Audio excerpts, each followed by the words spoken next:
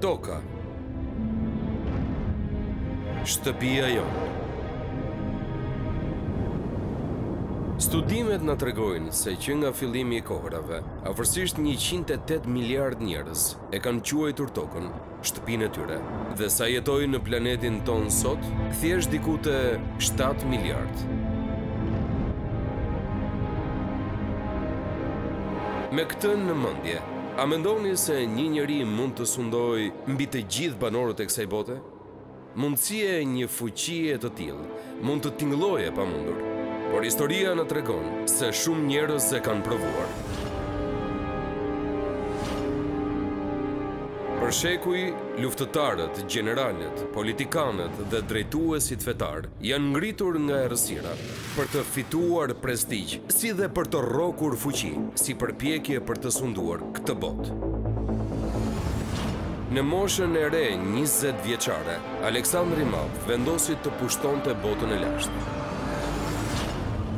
Cezari i Perandorisë Romake sundoi me mendjemprehësi djallëzore për t'u siguruar që të arrinte qëllimin e tij. Dëshira e Napoleonit për dominim ushtarak E nxiti pasionin e tij konsumues që të bëhej perandor mbi të gjithë. Adolf Hitleri kërkoi të pastronte tokën nga ata që ai përçmonte dhe të krijonte një racë sunduese të llojit të tij. Por bota jonë sot është përtej këtyre manovrave të frikshme të maniakëve të marrë që kërkojnë të kontrollojnë të gjithë qytetërimin. Shoqëria jonë është shumë e sofistikuar për të rënë pre e manipulimeve dhe dredhive të drejtuesve të zgjuar, të cilët premtojnë paqe, por sjellin dëshpërim të plotë. Apo jo? Gabim. Në fakt, ne jemi paralajmëruar që një ditë në të ardhmen, një burrë do të dalë në skenën e botës. Me qëllimin që të gjithë ta adhurojnë atë dhe asnjë tjetër.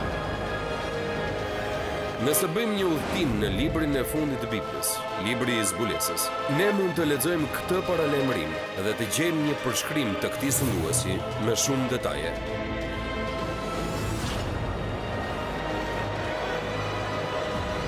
Pra kush është ky i marrë? Ky diktator, ky drejtues djallëzor në botë, i cili edhe në këtë çast mund të jetë duke përgatitur ngritjen e tij në fuqi. Bisha e detit, Antikrishti, një përfaqësues i Apokalipsit.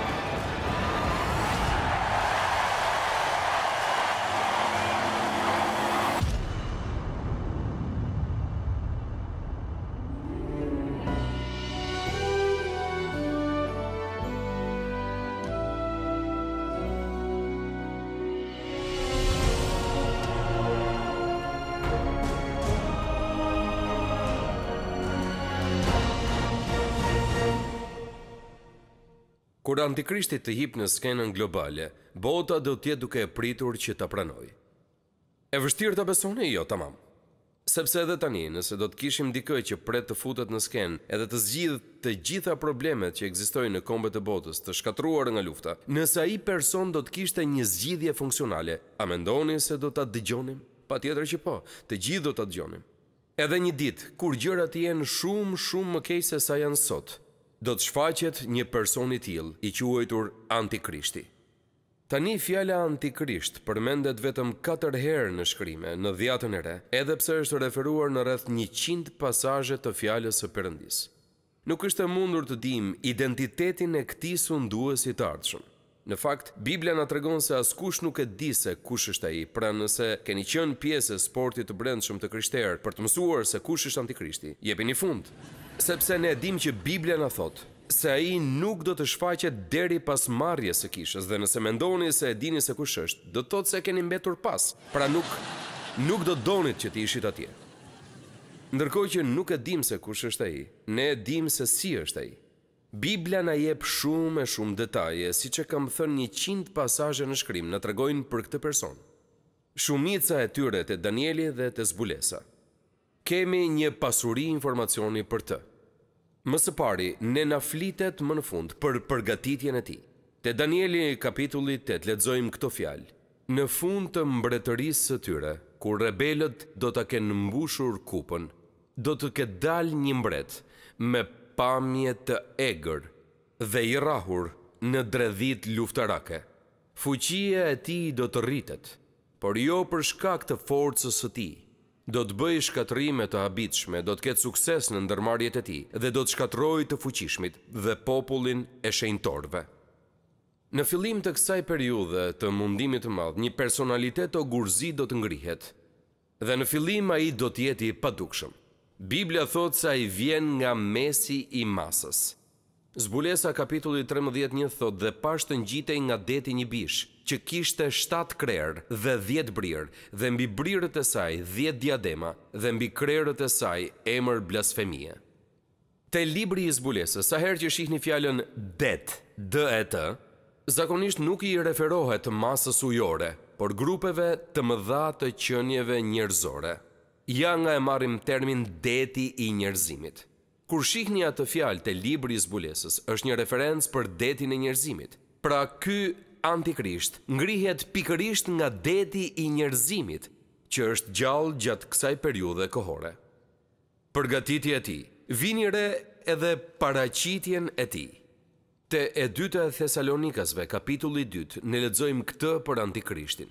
Askush të mos ju mashtrojë në asnjë mënyrë, sepse ajo ditë nuk do të vijë pa ardhur më parë rënia, dhe pa u zbuluar, një emër tjetër që është për Antikrishtin, njeriu i mëkatit, biri i humbjes, Kundërshtari, ai që ngre veten lart mbi gjithçka që quhet perëndi ose objekt adhurimi, aq sa, tani dëgjoni me kujdes, të ulet në tempullin e Perëndisë, si perëndi, duke e paraqitur veten se është perëndi.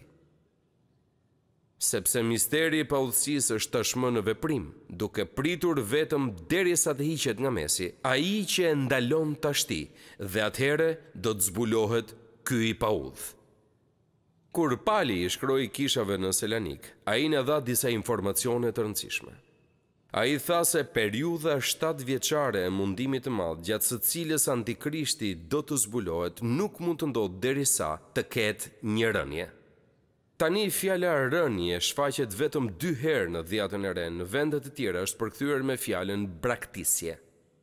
Ajo që Pali po thotë është që para se të ndodhë periudha e mundimit të madh, do të ketë një braktisje të qëndrimeve tradicionale të besimit, do të ketë një largim shumë të madh nga ajo që disa njerëz e quajnë fe, por ne e quajmë besim. Tani kjo është shumë e habitshme për shumë njerëz, sepse përgjatë viteve si ungjilltarë, ne kemi dëgjuar që njerëzit kanë thënë se para se Jezusi të kthehet, do të ketë një rizgjim masiv dhe që qindra mijëra njerëz do të kthehen te Jezusi. Sa do doja t'ju thosha që kjo është e vërtetë. Unë besoj se do të ketë shumë rizgjime përpara se Jezusi të kthehet, nëse ai vonon. Por nuk do të ketë rizgjime masive ku shumë nga kombet e tokës do të vijnë te Krishti, në fakt e kundërta është e vërtetë. Para se Jezusi të kthehet do të ketë një rënie të madhe nga besimi. Do të jetë vetëm pas marrjes së kishës, gjatë mundimit të madh, që do të ketë një rizgjim të madh prej dy dëshmitarëve dhe të njëqind e dyzet e katër mijëve. Tani unë do të ndaloj për një çast dhe do t'ju them se ka me siguri disa prova që kjo lloj rënie është të paktën në fazat e para. Të gjitha statistikat që kam lexuar nga Xhorxh Barna dhe studiues të tjerë më tregojnë, se ne mezi po mbajmë veten si ungjilltar. Në predikimin e tij në mal Jezusi foli për këtë, ja se çfarë tha ai, Dhe atëherë shumë do të skandalizohen, do ta tradhtojnë njëri-tjetrin dhe do të urrejnë njëri-tjetrin. Dhe do të ngrihen shumë profetë të rremë dhe do të mashtrojnë shumë njerëz, dhe duke qenë se paudhësia do të shumohet, shumëkujt do t'i ftohet dashuria. Tani Bibla thotë gjithashtu se përpara se të ndodhë kjo ngjarje që quhet mundimi i madh dhe marrja e kishës që e paraprin, ka edhe një tjetër gjë që duhet të ndodhë. Bibla thotë se Antikrishti nuk mund të vijë derisa të hiqet ai që e ndalon. Kjo thuhet te Thesalonikasit që lexuam disa çaste më parë. Tani kush është ai që e ndalon? Ai që e ndalon nuk është askush tjetër veçse Fryma e Shenjtë.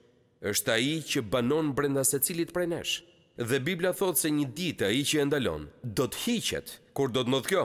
Epo kur ne të largohemi, ai që e ndalon largohet, sepse ai banon në ne. Prania banuese e Frymës së Shenjtë të Perëndisë do të hiqet nga kjo tokë kur të ndodhë marrja e kishës. A do të mungojë Fryma e Shenjtë? Jo, por Ai nuk do të jetë i pranishëm në mënyrën e Tij të fuqishme të banimit.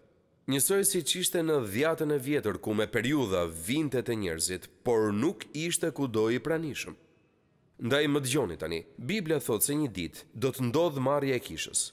Dhe kur të krishterët të shkojnë në qiell, fryma e shenjtë nuk do të jetë më njësoj siç është tani në këtë tokë. A mund ta imagjinoni që nëse asgjë tjetër nuk do të ndodhë në planetin Tokë, çfarë do të ndodhte me kulturat e kombeve tona?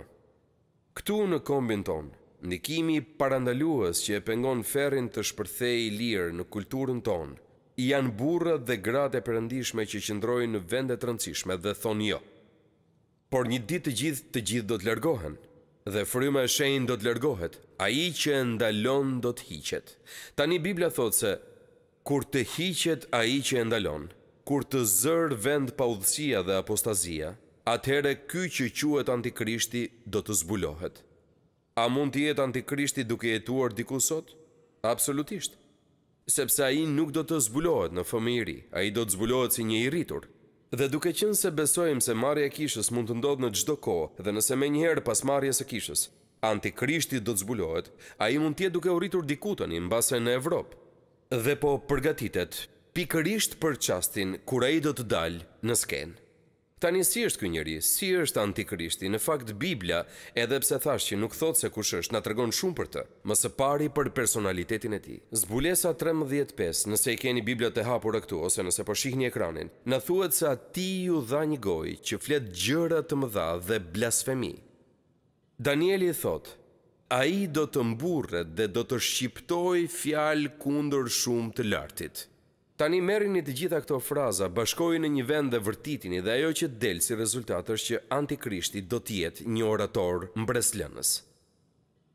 Ai do të jetë në gjendje të tundojë njerëzit me anë të pranisë së tij personale dhe besoj se do ta përdorë televizionin në një mënyrë të jashtëzakonshme. Dhe ne nuk kemi marrë shumë prej tyre në kohën tonë. Dua të them, kemi pasur John Kennedyn, që ishte padyshim orator më i mirë se niveli i mesëm, kemi pasur Ronald Reaganin, që ishte shumë i zoti. Sot kemi presidentin aktual që ishte shumë impresionues me oratorinë e tij gjatë kohës së zgjedhjeve dhe është ende i zoti t'i përdorë fjalët siç pak njerëz dinë ta bëjnë, shumë mbresëlënës. Dhe mua më kujtohet, disa vite më parë dikush më dha një video, ishte e vjetër dhe me probleme, por mendoj se ishte për dikë që po bënte një prezantim të asaj që ishte kur Hitleri doli përpara njerëzve. Dhe ai thoshte se Hitleri ishte një orator tejet i suksesshëm. Ai mblidhte turma të mëdha njerëzish dhe fillonte të fliste butësisht, në mënyrë që të gjithë të afroheshin, edhe pak nga pak fliste me zë gjithnjë e më të lartë, derisa të arrinte në fund të fjalimit të tij. Ai do të bërtiste dhe njerëzit do të ishin ngritur në këmbë duke ulëritur në përgjigje të tij. Epo, merrni Hitlerin, Ronald Reaganin, John Kennedyn dhe Barack Obamën dhe bashkojini të gjithë. Shumëfishojini me katër apo pesë edhe do të keni diçka që të tregon se si do të jetë kur ky njeri i mëkatit të zërë vendin e tij në skenë dhe të fillojë t'i adresohet njerëzve nëpër botë. Ai do të jetë një folës jashtëzakonisht i talentuar. Bibla na thotë se ai gjithashtu do të jetë jashtëzakonisht tërheqës. Danieli thotë te Danieli shtatë njëzet se nga pamja e tij ai dukej më i madh se të tjerët. Me fjalë të tjera, ai ishte mbresëlënës. A keni qenë ndonjëherë në praninë e një njeriu mbresëlënës? Ju thjesht shkoni në praninë e tij dhe ka diçka që ndodh. Ai hyn në sallë dhe gjithçka ndryshon. Unë besoj se ai do të jetë jashtëzakonisht i bukur. Mendoj se do të jetë jashtëzakonisht i gjatë. Bibla thotë se ai do të jetë një burrë mjaft inteligjent gjithashtu. Danieli e përshkruan atë si dikush që është i rrahur në dredhitë luftarake. Për shkak të dinakërisë së tij, do të shtohet mashtrimi në duart e tij. Ky do të jetë një lloj njeriu mjaft mbresëlënës. Ne pyesim se si mund të ndodhë diçka e tillë, por do të ndodhë. Dhe ai do të jetë thjesht dikush që kjo botë e vjetër mëkatare që e refuzon Zotin është duke kërkuar. Dikush që e bën dhimbjen të largohet dhe u jep njerëzve pak shpresë. Tani ai e ka një plan. Sipas Danielit, plani i tij është që të vijë paqësisht, por do ta shtjerë në dorë mbretërinë me intriga.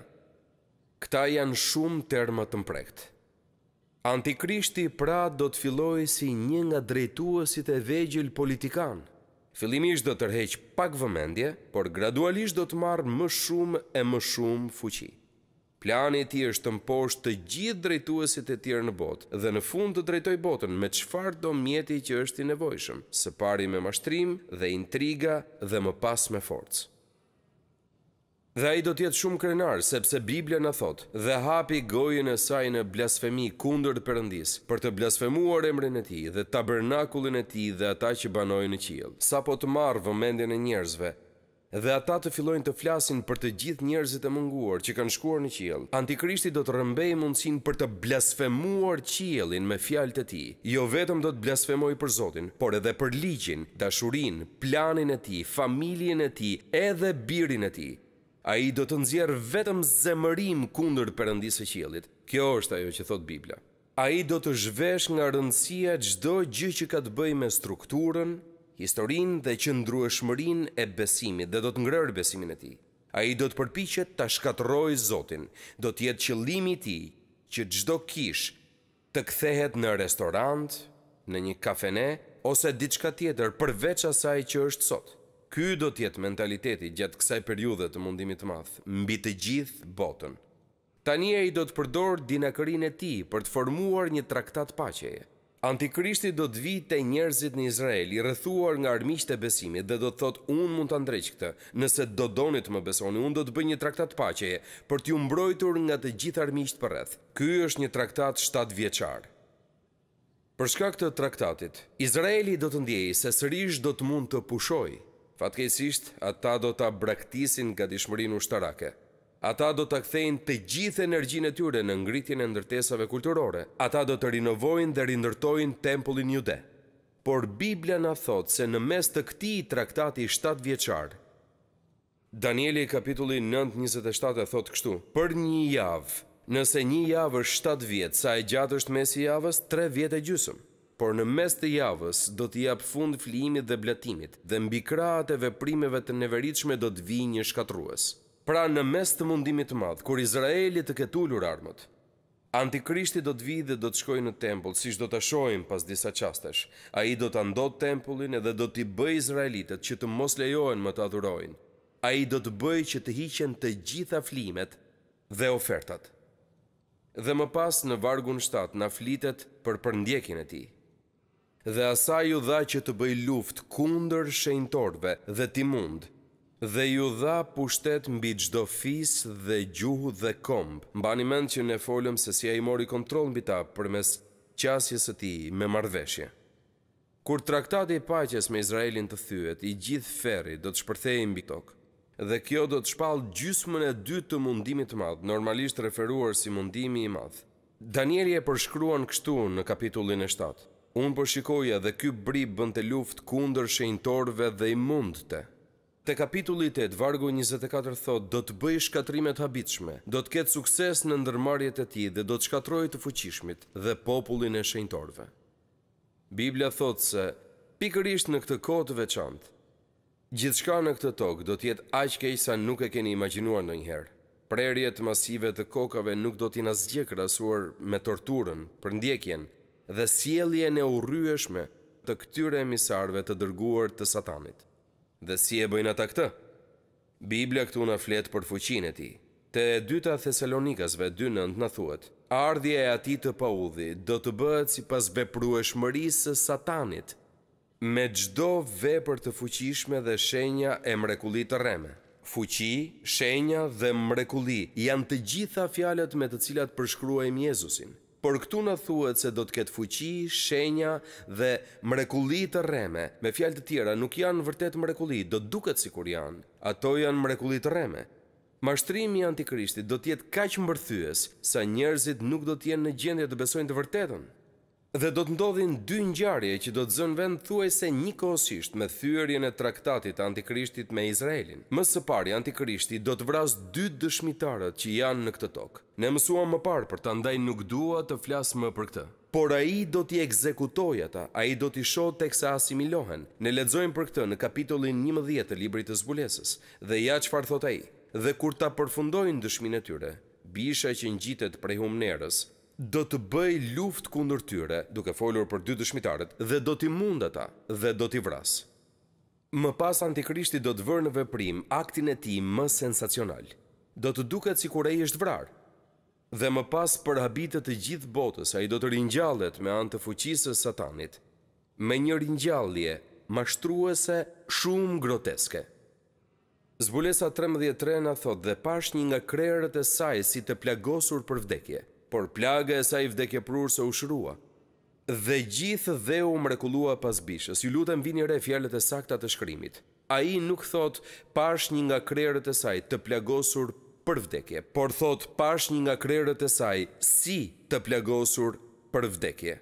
Pra ai e mashtron botën që të besojë se ai është vrarë dhe më pas vjen në jetë.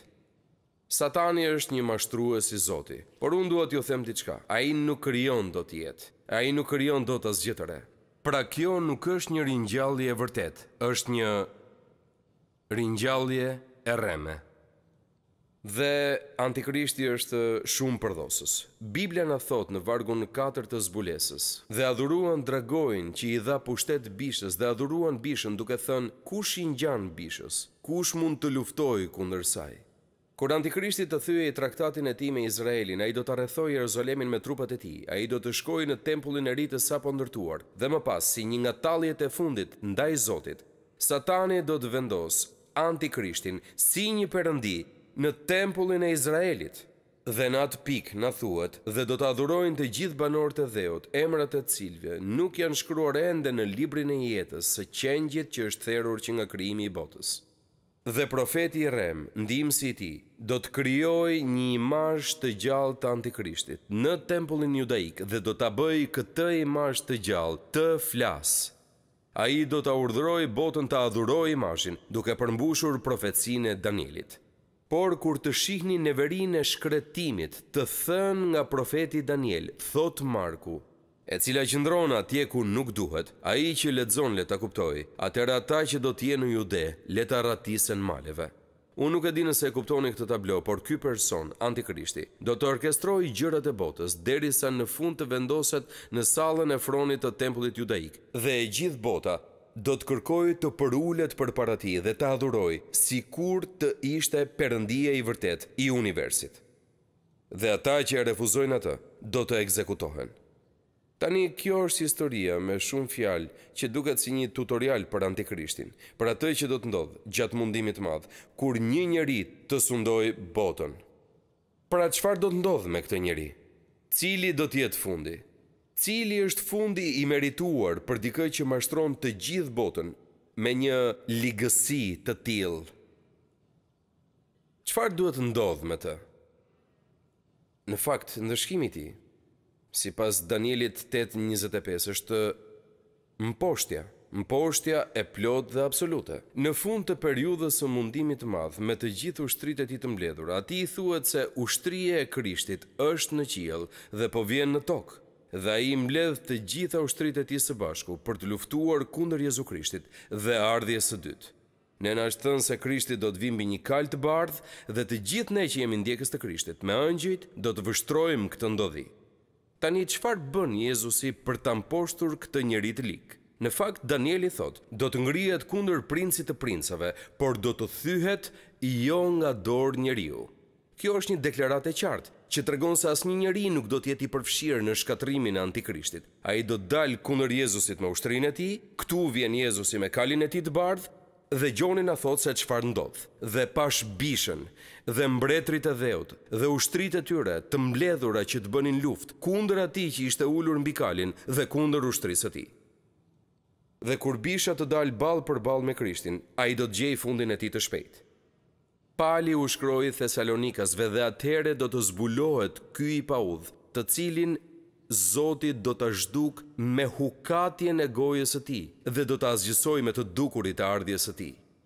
A e dini se sa e vështirë do të jetë për Zotin Jezu Krisht që të merret me Antikrishtin? Më dëgjoni. Huh!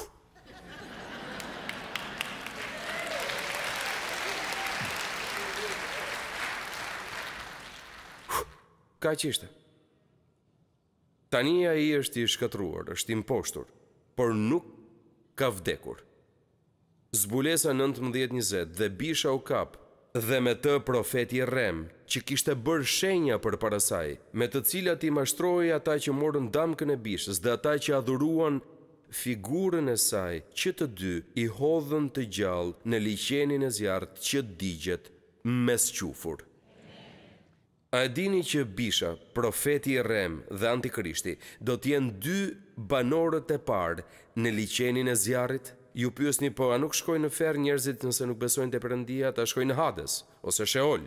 Bibla thotë se një ditë vdekja dhe ferri do të hidhen në liqenin e zjarrit, por jo deri atëherë. Pikërisht tani, në liqenin e zjarrit, po pritet për këtë moment.